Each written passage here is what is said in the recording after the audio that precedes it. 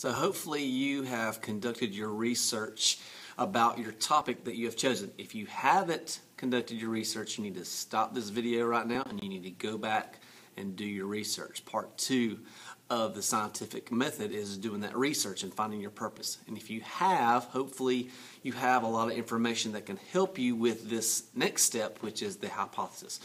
And what a hypothesis is, is a guess, but it's not just any normal guess. I want you to think about this in this first bullet. It says, use your research to make an educated guess about how you think your experiment will turn out. An educated guess, think about that word educated, means you have learned something. In your research, you should have learned something about some of your materials that you're going to need to do your experiment. And so once you've learned about some things, now you can start thinking about what do you think is going to happen. So an example of a hypothesis statement is going to look like this. It's going to look similar to a testable question. It's going to have two parts to it. And so if you look at this, if I use or if I blank, then I think blank.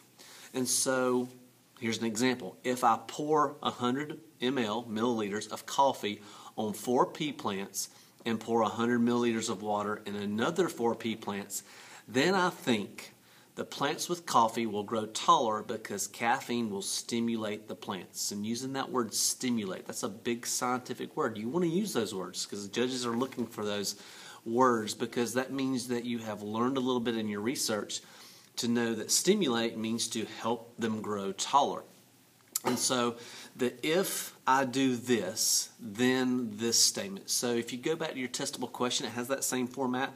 If I change this, then this will happen. And so you're making a prediction about what you think will happen based on what you learned about caffeine, what you learned about plant growth in your research. And so both of those things that you researched will help you to come up with a good, not just a normal guess, but an educated guess. So thinking about your topic, what you've decided to do your project on, thinking about your testable question, and your research, now start formulating a hypothesis.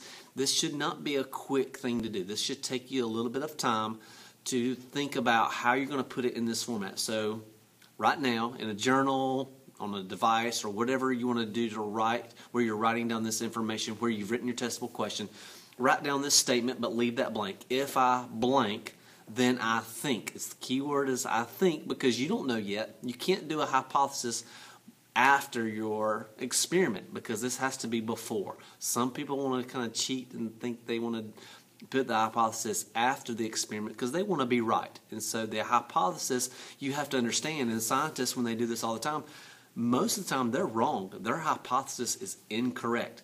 And so at the end of your science fair project, you're going to make a statement. My hypothesis was, and you're either going to say correct or incorrect. Most of the time, it's going to be incorrect. So if you're wrong in your hypothesis, guess what?